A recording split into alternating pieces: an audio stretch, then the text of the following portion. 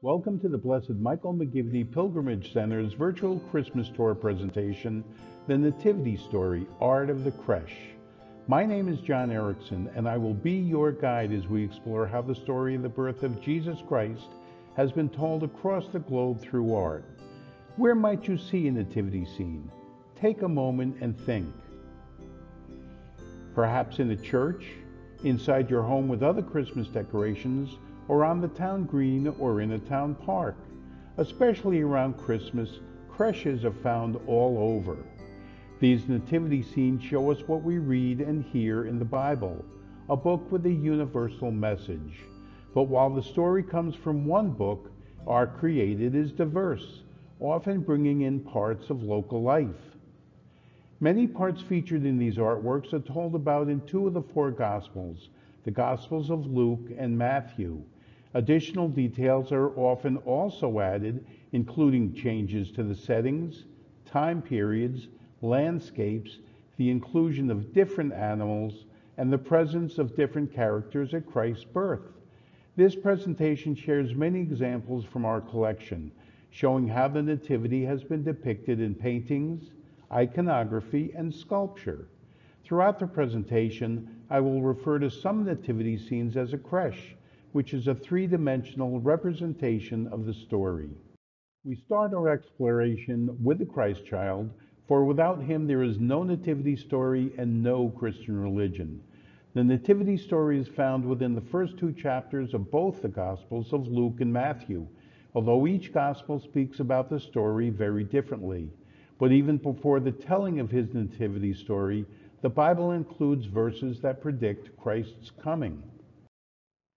This Bible verse from Isaiah not only predicts Jesus' birth, but provides some of the nicknames he's been called over time, such as Wonder Counselor and Prince of Peace. The nicknames also show the importance of Christ to the world and to all humans. In this painting of the Christ child from Mexico, he is not a baby, but instead a young boy. In it, there are three ways the meaning of his birth is shown. Around his head is a glowing halo. It not only reminds us of Jesus' holiness, but also St. Bridget's vision of the infant Christ having a heavenly glow. Second, his eyes are looking upward toward God the Father, understanding his place as Son of God.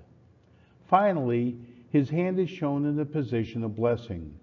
Take a moment now to make that hand gesture with two fingers bent and the other three straight. You may see a priest also make the same hand gesture when he is given the blessing of the cross at the beginning and the end of Mass.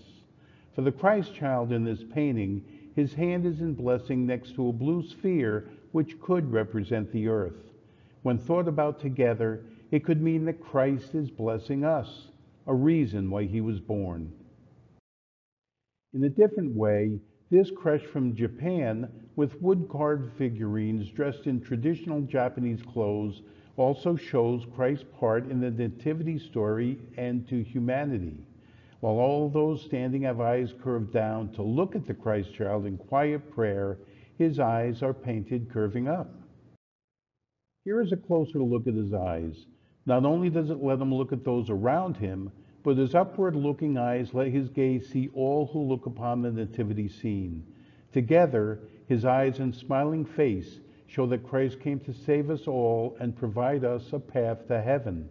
For Jesus, the Son of God, to become human, he needed to be born just like any other baby with a mother bearing a child. Chosen by God for that special job was Mary, the story of her learning of the coming of her son Jesus is only told about in the Gospel of Luke and begins the Nativity story. In the story, the angel Gabriel visits Mary to tell her that God, in his love for Mary, is going to give her a baby who is also God's son. Although first unsure, Mary believes Gabriel because of her full faith in God and accepts this good news as a gift from God. Known as the Annunciation, this word means the announcement to Mary that she was going to become the mother of Christ. The story of the Annunciation is found in many art forms, including this icon from Russia. Catholics and Orthodox Christians use icons as part of their prayer and worship. This icon includes elements with a special meaning connected to the Annunciation story. Mary's hand is pointing towards a book. The text in the book is probably from Isaiah. It tells another prediction of Christ's birth in that God will give a sign of a pregnant young woman who will bear a son named Emmanuel, which means God is with us in Hebrew, the language of the Jewish people. The icon also shows rays of light piercing through the clouds at the upper left, meant to show God is with Mary and that this news is a blessing from him. We later hear in both Gospels that Mary gives birth to her son and names him Jesus. But over the history, how she looks in the nativity scene has changed. This creche from Ghana by Mohammed Amin shows Mary lying down on a striped blanket with the Christ child beside her. For the first thousand years in art, Mary was usually depicted like this, showing her tiredness after giving birth. Have you seen another nativity scene where Mary is lying down? Or perhaps you've seen her kneeling with her hands either together or crossed on her chest. Both those hand positions remind us of her devotion to God and her Son, one in the same. Another way Mary is shown with her newborn son is as a mother. In this sculpture of Mary and the Christ child, the focus is upon a mom holding her love and her life, her son. This way of seeing Mary, both on its own and within the nativity scene, makes it relatable to us and situations we might have had as a baby or a child ourselves. In addition to Jesus and Mary, nativity scenes include Mary's husband and the foster father of Christ, Joseph.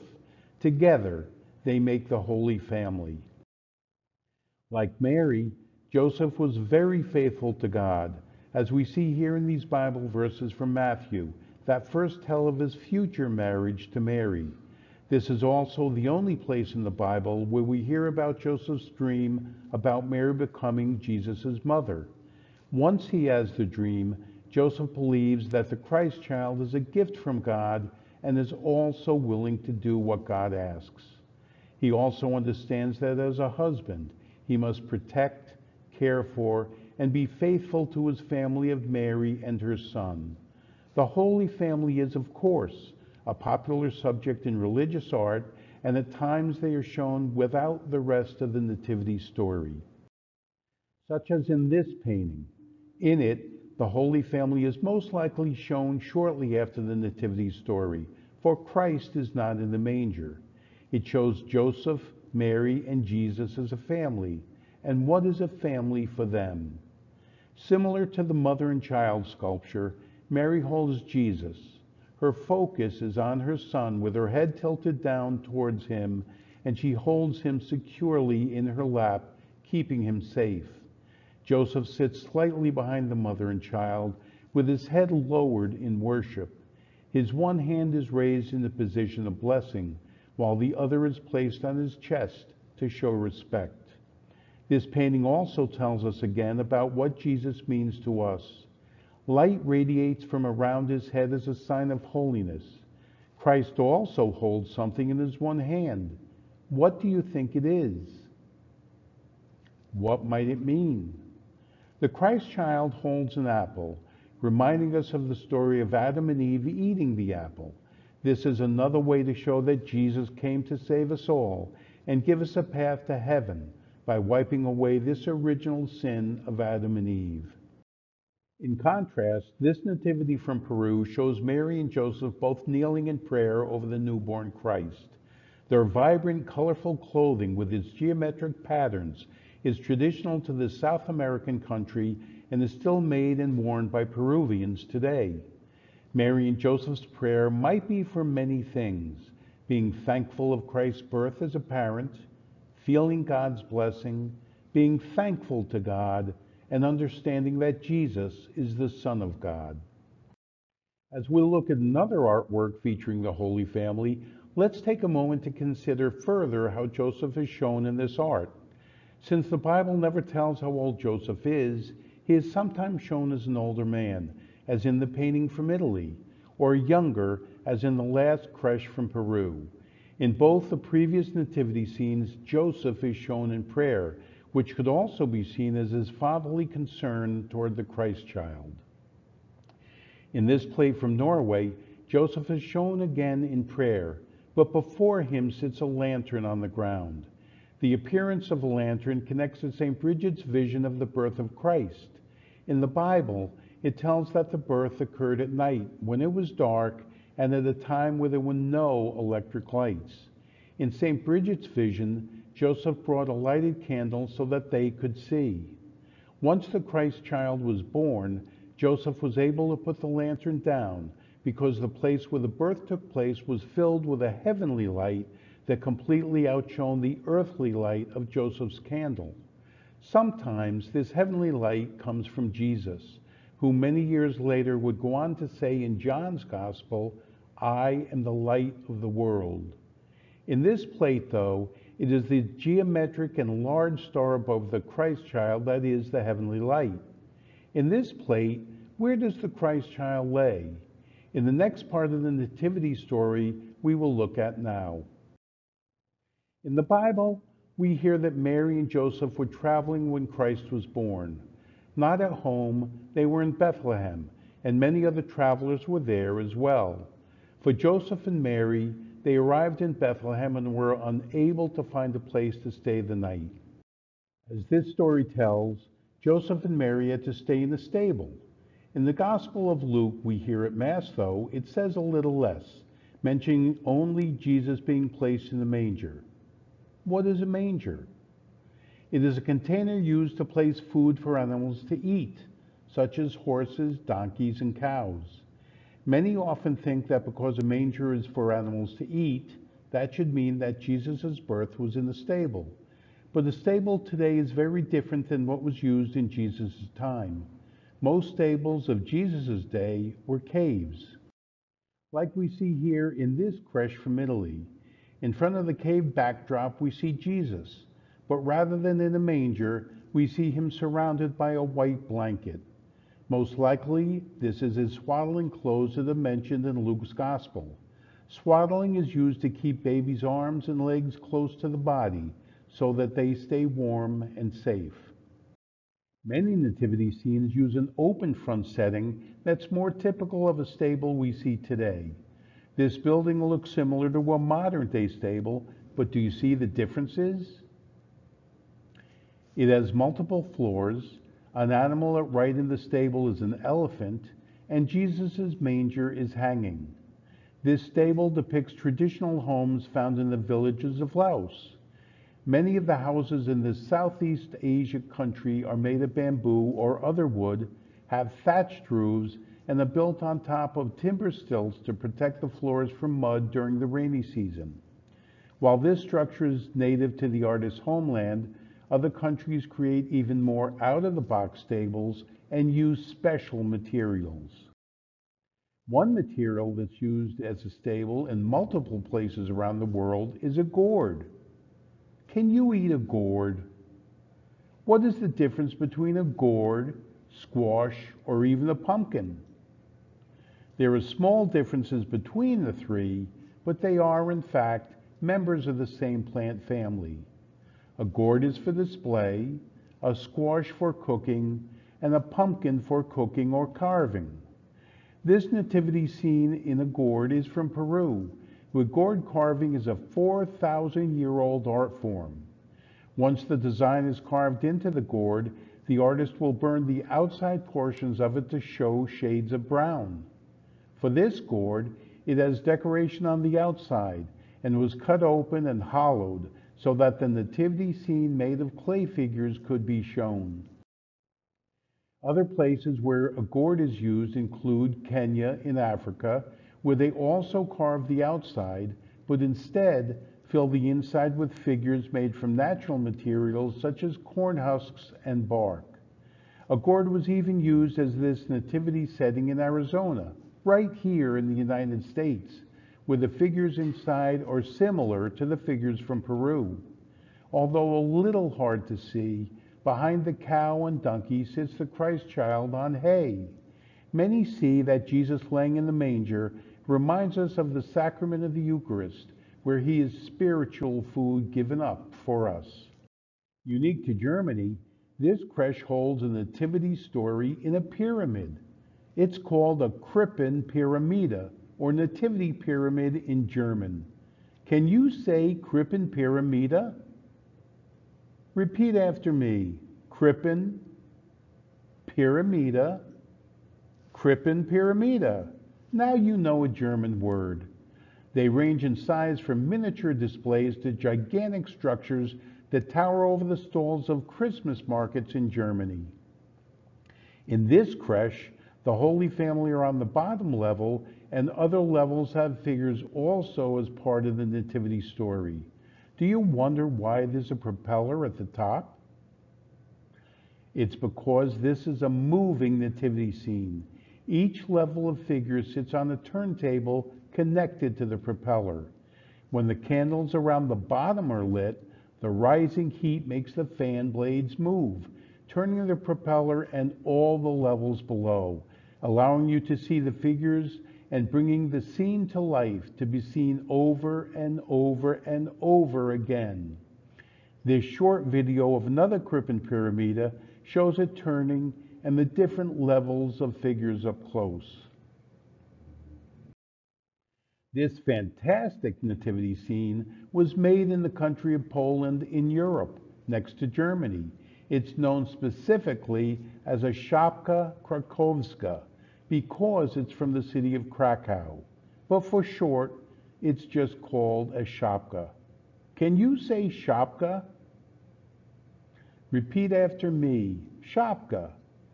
Not only do you know German, but also a Polish word. What does this building look like?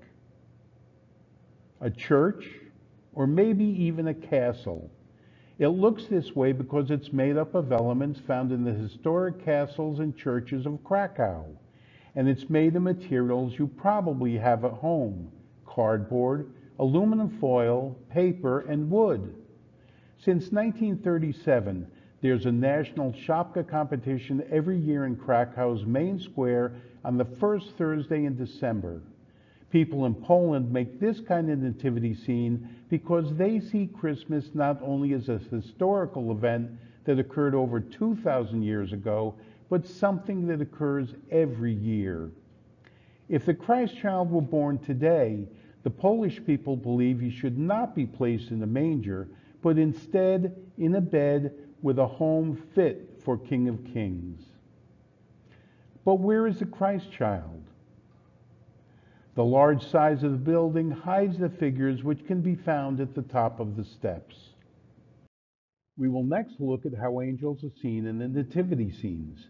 Angels work for God, serving as protectors and guides for humans, and servants bringing news from God to those on earth. They are a big part of the story before Jesus' birth bringing news of Mary's pregnancy and telling Joseph to keep his wife safe and with him. Angels also serve as protectors after the birth of Christ, warning the Magi not to tell Herod about where the Christ child is and telling Joseph to flee to Egypt to keep Jesus safe. Angels appear in both gospel stories of the birth of Christ. In Luke's gospel, Angels also bring the news of Jesus' birth to the shepherds near Bethlehem. As this story tells, first there is one angel that announces the news, and then many more angels came to praise God. Some nativity scenes show the first angel, and others show lots of angels. This creche is from Sicily, which is part of Italy. The artist, Angela Tripi, decided to include only one angel, who holds a banner that reads Gloria, a Latin word that means glory or glory to God. The movement of the angel's clothes was created by dipping the clothing in a watered down glue. While it is still wet, the artist folds and places the clothing. As it dries, the folds stay in place, making it feel like the angel is in the air with the breeze and flying. In this creche, the angel looks down on the shepherd, wise men, and holy family, making this a moment after it told the shepherds of Jesus' birth. Different from the angel in the Italian Nativity, this angel has its hands together in prayer. The angel brings blessings from God on the Holy Family and Magi, and the angel's placement hovering above the others might be in protection to those below, especially the Holy Family. The figurines in this nativity scene wear clothing similar to the traditional dress of the Central American country of El Salvador, where this creche was made. The vibrant colors are a joyful representation, and today this clothing is still worn during the celebrations including festivals and other religious events. Unlike the last two creches, this nativity scene has a lot of angels doing many different things. The figures are based on the drawings of Sister Maria Innocentia Hummel, who drew everyday scenes of children in the countryside of Germany where she lived. This creche was collected by one priest over the years. To praise God and Christ's birth, many of the angels he collected are playing instruments. What instruments do you see? Guitar, violin, flute, and trumpet are all being played in celebration. Other angels in the creche hold candles and even a lantern, reminding us again that the birth happened at night.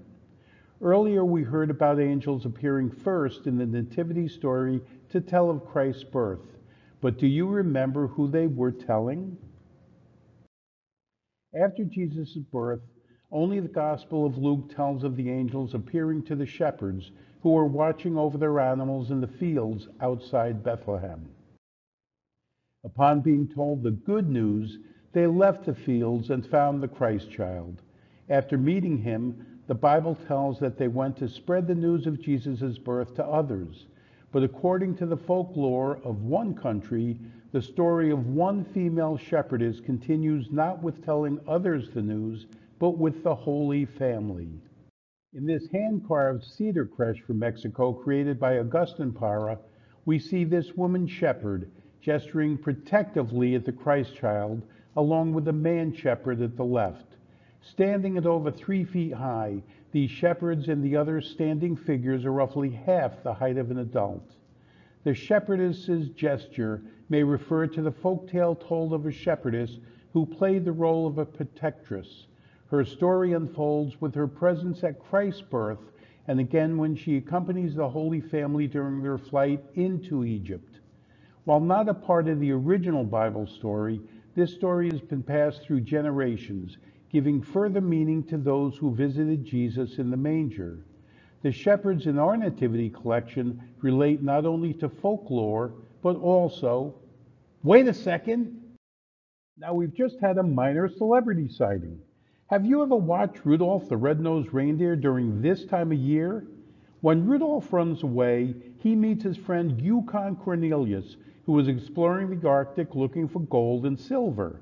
Well, it seems Yukon, with his distinct mustache, has joined this Hungarian nativity scene by Katalin Moldvoy as a shepherd. The figure at the left has the same hair color and wears a cap just like Yukon and reminds me of that classic holiday movie. Unlike the winter hiking gear Yukon wears in the movie, this figure wears clothing similar to the traditional clothing from Hungary. So where was I? Oh yes, the shepherds in our nativity collection not only relate to folklore, but also connect to our understanding of Jesus. Nativity scenes often include shepherds with their flock of animals, including this creche from Spain that includes two shepherds holding sheep, one in their arm and one over their shoulders. Let's look for a moment at the shepherd holding the sheep on his shoulders. Why might he be holding the sheep? Because he was tired or maybe even hurt and thus could not walk on his own to the manger. Whatever the reason, their appearance at the birth of Christ is a sign of the future when Christ, as an adult, calls himself the Good Shepherd. Christ does not tend sheep, but rather us, watching over and protecting us like a shepherd his sheep. It reminds us that this baby at the center of the scene will go on to have an important life. As we talked briefly before, the shepherds were in the fields watching over their animals. The nativity story we hear at church says that they were tending over their flocks. But nowhere in the Bible's telling of the birth of Christ does it say what animals, if any, were at his birth or came afterward. But almost always there are animals featured in nativity scenes, such as ox or cows, donkeys, and sheep. Why might they be present? Since Jesus was laid in the manger, that feeding container for animals, artists think that there must be animals nearby who would normally eat the hay. Hay is a common food eaten by cattle, horses, donkeys, goats, and sheep, so thus why they might be there. Oxen or cows and donkeys might also appear in nativity scenes because of this quote from the book of Isaiah. But what does this quote mean? If you have a pet at home, they know who you are and that you take care of them, giving them love, food, and a home. For this care, our pets love us no matter if we are good or bad. But at times, we all forget that we are like our pets in our relationship with God. God knows us and takes care of us just like we do for our pets. God also loves us when we are good or when we sin. The Bible verse, along with the cow and donkey in this example nativity scene from Belize, are a reminder to the viewer that our faithfulness to God can always improve. The cow and the donkey in this creche, along with the Holy Family and angel figures, may look good enough to eat because they're made of bread dough. Mazapan, or bread dough in Spanish, is formed and painted before left to dry in order to create figures such as the ones we see here. Now you've learned another word in a different language. Animals in the nativity scene might also be based on where in the world the artwork was made, such as this creche from Kenya. While a donkey appears in this scene at right, this African nativity scene includes elephants, a hippo, and even a giraffe visiting the birth of Christ. For those from Kenya, the inclusion of these animals remind them that this universal story told around the world could have also occurred in their backyard rather than in the faraway city of Bethlehem. Another animal found in many nativity scenes is the rooster. In this scene from Portugal, he perches on top of Christ's manger with other birds. People who speak Spanish or Portuguese might include a rooster because they call midnight mass at Christmas the rooster mass. In these cultures, there's a legend that a rooster who was present at the Nativity announced in a human voice the news of Christ's birth letting others know just like the shepherds and angels did. The rooster in this creche sits on the middle stair of this three step throne surrounded by the Magi above, the Holy Family on either side, and the shepherds in a setup found in religious shrines used in Portuguese festivals. The dove is also a bird sometimes found with a nativity scene. It is used as a symbol in the Christian faith and also can sometimes be found within a creche or depictions of the Holy Family, such as this painting from Mexico where it hovers over the Holy Family. All four Gospels mention the Holy Spirit taking the form of a dove at the baptism of Jesus. And in art, the dove often represents the presence of the Holy Spirit. Additionally, a dove carrying an olive branch is a symbol of inner peace or world peace. The last animal we will look at is the camel. Camels also appear often in nativity scenes, such as in the left scene of this triptych, or three-part artwork from Vietnam. Camels are used like horses to transport humans. They can travel as fast as horses, but unlike horses, they can endure long periods of time without food or water. In the area of the world where Jesus was born, there are deserts, where the land is dry and has no plants, making the camel a great animal to travel around with. In this nativity scene, the Magi ride camels toward the Holy Family and shepherds who appear in the right two panels. Camels also appear with the Magi in our next nativity scene. As this nesting doll and the triptych shows, the Magi were travelers who also came to visit the infant Christ. They're only mentioned in the nativity story from the Gospel of Matthew. Unlike the shepherds who were nearby, the Magi journeyed a long distance to see the baby Jesus. The story never explains, though, if they walked or used animals to get to the baby, which is why we see them sometimes with camels or even horses. But what is a magi?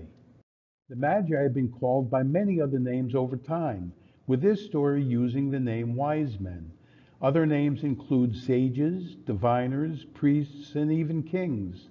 No matter what the name, what is special about them is that they knew the stars in the sky and were able to see the sign of a new star. Following the star, they traveled to the Christ child and once there, prayed and gave him gifts. With little description in the Bible about the Magi, artists have often over time depicted them in different ways. As we see in the center nesting doll from Russia, it shows them on their journey not yet arrived at their destination. But if you look closer at the men, there appear to be different ages.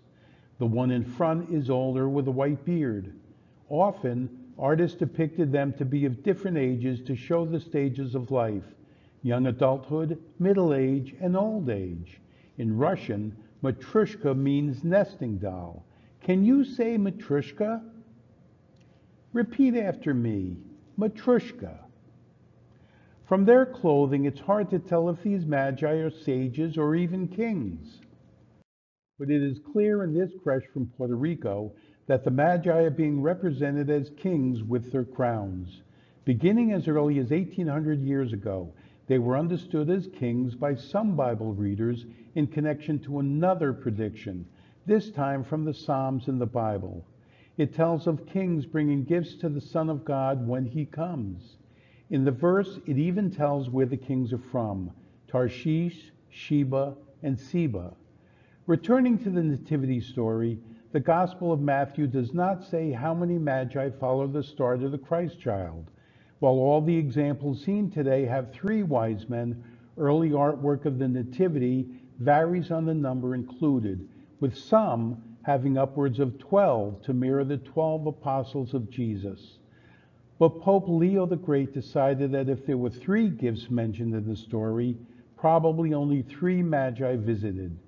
Since Pope Leo decided that over a thousand years ago, three wise men have been depicted in the art of the Nativity.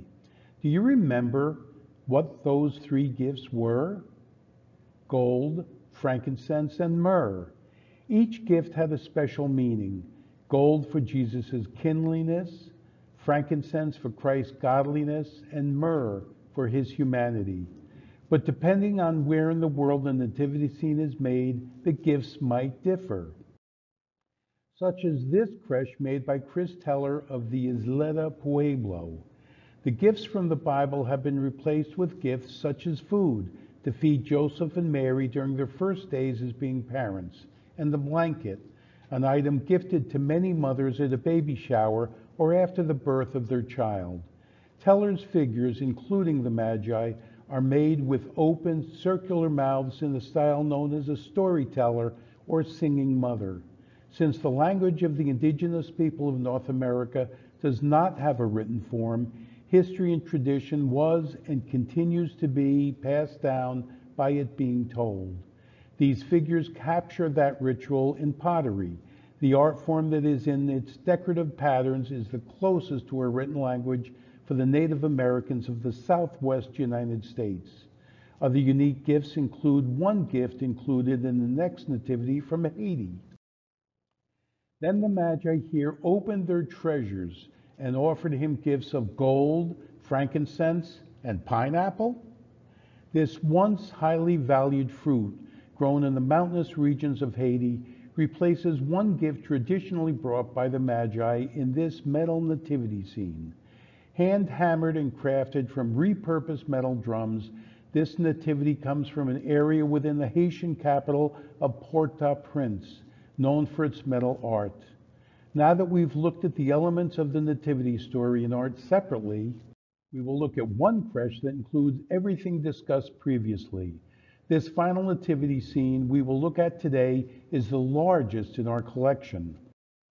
From Italy, it is known as the Neapolitan Creche and contains over 150 figures, including over 80 people and over 60 animals, which were all made by members of one family who each have specific roles in creating the scene.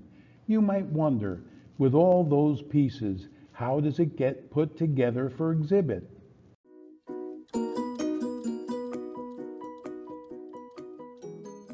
As this time-lapse video shows from when we put up this nativity scene last year, it takes several people hours just to place every person, animal, and accessory in the scene. That doesn't even include building the base it sits on or placing the larger buildings and structures before those smaller figures and pieces can be installed. Thankfully, every item has a specific place it goes that is noted down in photos, so that helps us to put up and take down the creche when it's displayed. This video also begins to show how large the nativity is, for when placing the figures, you can see that we need to use ladders and can even climb into the scene.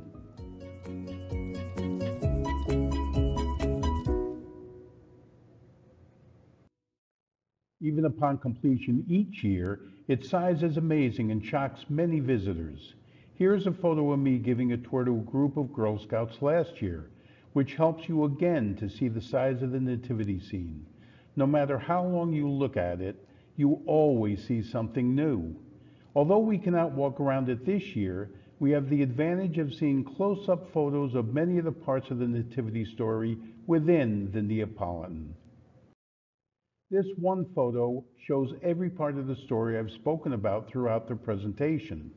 The Christ child, Mary, the Holy Family, the manger, the angels, the shepherd, the animals, the magi, plus more.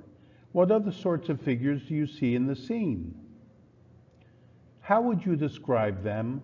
What are they doing? Pause the video for a moment and look closely at the scene, and when you are ready, select play to continue. The Magi, similar to the nesting dolls from Russia, represent the three ages of men, but they do not stand together and are each shown in a different way. As a traveler just arriving to the Holy Family in the photo on the right, in amazement just behind the Holy Family and in kneeling prayer and praise at the Christ child's side in the photo on the left. Mary appears sitting beside her son, whose light is captured in the radiant rays of his halo and crown that surrounds his head. The shepherds not only appear watching over their animals, as we see in the picture on the left, but the Neapolitan also shows the moment the angel announces the birth to them as seen in the picture at right.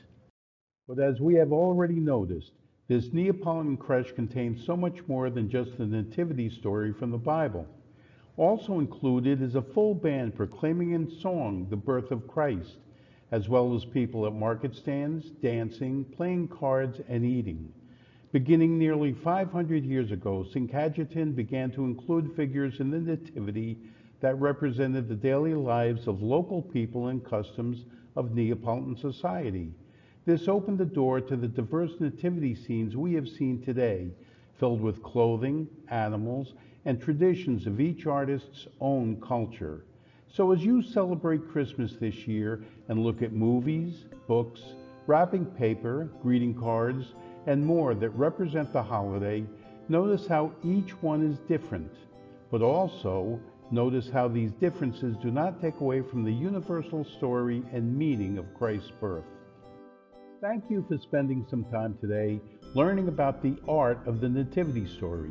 To learn more about the Pilgrimage Center and its offerings, please visit michaelmcgivneycenter.org. On behalf of the Blessed Michael McGivney Pilgrimage Center, I wish you and yours a merry and blessed Christmas.